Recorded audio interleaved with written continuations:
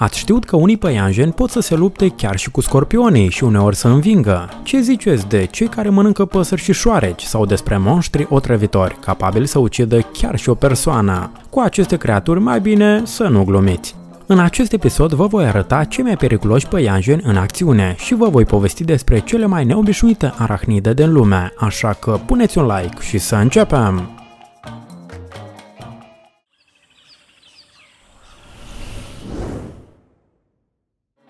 Pentru oameni însă nu prezintă pericol. Nu au glandă otrăvitoare, dar odată cu mușcătura pot să transfere în organism bacterii. Mai periculoși sunt pentru animale și insecte. Aceștia pot să se lupte chiar și cu o călugăriță. Deși nu e foarte mare, are instincte de prădător și abilități de luptă. Călugărița e capabilă să învingă și șerpi. În lupta cu păianjenul cămilă însă nu prea are șanse. Deseori astfel de bătălii se termină cu egalitate, iar uneori în favoarea arachnidei. Păianjenul poate să se lupte și cu scorpionul, deși e o sarcină mult mai grea decât cea cu călugărița. De exemplu aici, scorpionul trebuie să se lupte cu doi păianjeni cămilă deodată. Chiar dacă e depășit numeric, monstrul otrăvitor prevalează asupra ambilor adversari. E timpul pentru răzbunare. Păianjenul se preface că fuge, făcându-l pe scorpion să-l urmărească, dar dintr-o dată face un truc înșelător și atacă scorpionul care nu se aștepta la așa întorsătură. Arachnida a ales tactica corectă și s-a apucat de coada scorpionului, ca să nu o poată folosi și astfel a neutralizat amenințarea principală. Scorpionul încearcă să se lupte, dar adversarul îl ține din strâns. Curând, el se epuizează și păianjenul începe să-l mănânce.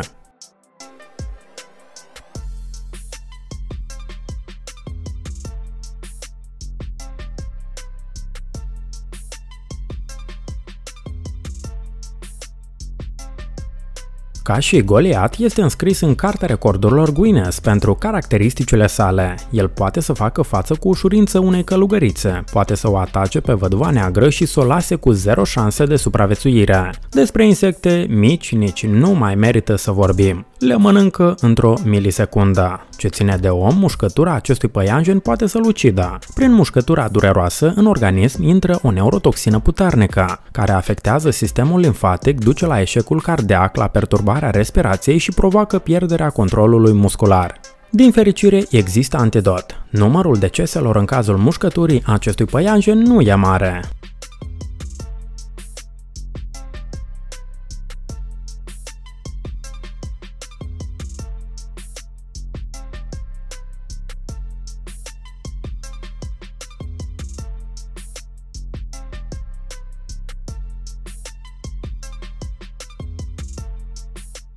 Areamnes colubrinus acest păianjen nici nu arată ca unul. În încercarea de a se fuziona cu natura înconjurătoare s-a transformat în ceva ce seamănă cu un bici sau ramură. Locuiește desigur că în Australia. Poate fi diferențiat de alte rude prin corpul subțire care ajunge doar la 1-2 cm în lungime sau prin modul de a-și dobândi hrana. Ei nu fac pânze, ci atârnă două fire paralele cu lungimea de aproximativ 2 metri, ascunzându-le între frunze. Așezați în partea superioară a capcanei sale ca niște păpușari țin firele în labe și prind cea mai mică mișcare a prăziei.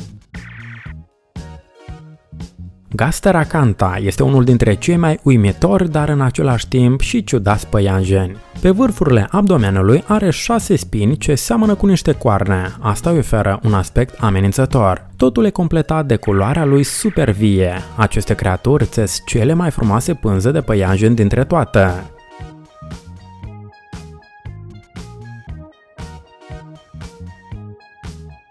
Păianjen versus broască. Să începem cu acest păianjen care se confruntă cu o broască. El este mare, dar și broasca nu-i mică, căci se pare că e o broască taur africană, una dintre cele mai mari de pe planetă. De data asta și-a demonstrat toată splendoarea. În momentul în care păianjenul a fost lansat în container, amfibianul reacționează instantaneu și îl mușcă. Păianjenul opune rezistență ceva timp, dar apoi dispare în gura broaștei. Poate acest gigant să îi facă față? De data asta lupta nu începe dintr-o dată. Adversarii mai mai întâi se uită unul la altul, de parcă apreciindu-și puterele. Prima atacă broasca și mișcarea se dovedește cu succes. Victorie! Să le dăm încă o șansă păianjenilor. Deja vedem că amfibia e mai mică, dar și păianjenul nu e prea mare. Broasca sare, începe lupta și, în sfârșit, arachnida câștigă. Dar nici nu putea să fie altfel, căci un păianjen cămilă sau sulifugaie e unul dintre cei mai periculoși și agresivi de pe planetă.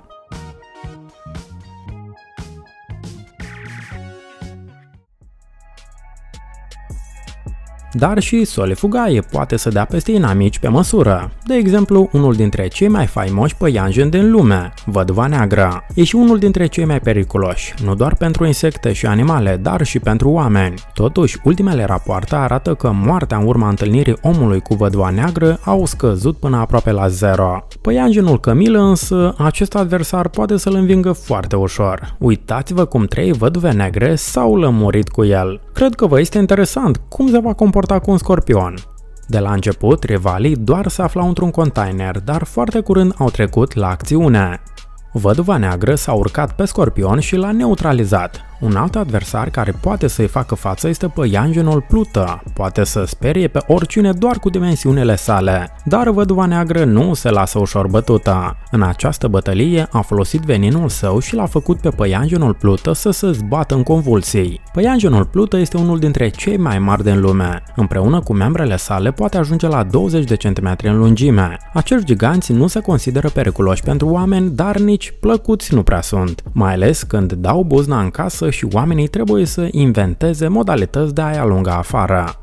Lider la capitolul mărime este păianjenul Terafosa blonde, numit și păianjenul mâncător de păsări Goliat. Acest monstru ajunge aproape la 30 de centimetri în lungime. El este înregistrat în Carta Recordurilor Guinness ca cel mai mare păianjen din lume. Desigur că e un pericol, în primul rând pentru insecte pe care le mănâncă din două mișcări. Uitați-vă cum s-a lămurit cu acest gândac mare. L-a mâncat într-o secundă. Adoră și prada mai mare, cum ar fi alți păianjeni și șoareci. Cu șoarecii treaba e rapidă, îi apucă la fel de repede ca și pe gândaci. Apoi îi devorează. Ureașul adoră să mănânce în vizuina sa, pe care o acoperă cu pânză. De asemenea, mănâncă diferite artropode, șopârle, viermi și amfibieni. Își justifică și numele. Mâncătorul de păsări chiar poate să mănânce păsări, dar se întâmplă destul de rar. Putem să spunem că de sărbători. Pentru om, acesta nu e periculos. Da, poate mușca, dar nu se va întâmpla nimic rău. Cu părere de rău, nu putem spune la fel și despre următorul erou al episodului nostru de astăzi, păianjenul călător brazilian. Este unul dintre cei mai periculoși păianjeni de pe planetă, nu doar pentru animale, dar și pentru oameni, fiindcă e cel mai otrăvitor. Despre Atrax robustus putem spune chestii cam la fel. El în general seamănă cu păianjenul călător brazilian. De la veninul lui, la fel există antidot și el e considerat unul dintre cei mai periculoși din lume. La fel ca ruda sa din America de Sud este introdus în cartea recordurilor Guinness ca cel mai veninos de pe Terra. Corect, împart la doi acest titlu. Mulți consideră că monstrul din Sydney, Atrax robustus, ar trebui să fie singur pe primul loc. El e capabil să învingă multe creaturi. Priviți cum a pus-o la punct pe această viespe, care are o mușcătură super dureroasă. Ce ține de oameni e foarte agresiv. Mușcă de câteva ori la rând și puterea mușcăturii e de ajuns ca să străpungă țesuturi groase și chiar și unghii. Veninul afectează întregul sistem nervos și poate ucide victima. Însă din anul 1981 n-a fost înregistrată nicio moarte datorită antidotului. Iată, ăștia sunt ei, cei mai periculoși păianjeni din lume. Și dacă totuși vorbim despre cei mai cei, de ce să nu vi arătăm și pe cei mai ciudați păianjeni de pe pământ?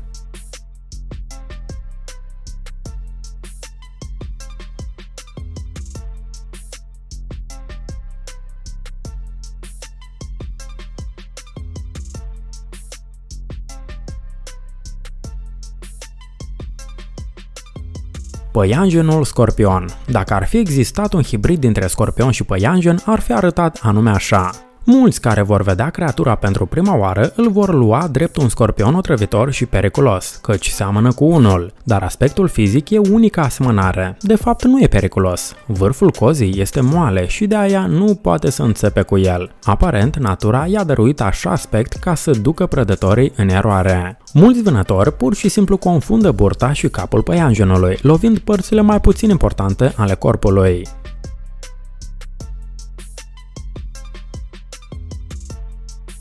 Păianjenul zâmbitor. Ca să închem episodul pe o notă mai veselă, vă prezentăm acest păianjen zâmbitor. Uitați-vă la această creatură și veți înțelege de ce. Formele de pe spatele lui creează un smile. Se pare că arachnida zâmbește tuturor celor care o privesc. Interesant e faptul că zâmbetul fiecărui individ este unic. Sunt mici, doar de vreo 5 mm în lungime, se găsesc pe insulele Hawaii și cu părere de rău se află pe cale de dispariție din cauza omului.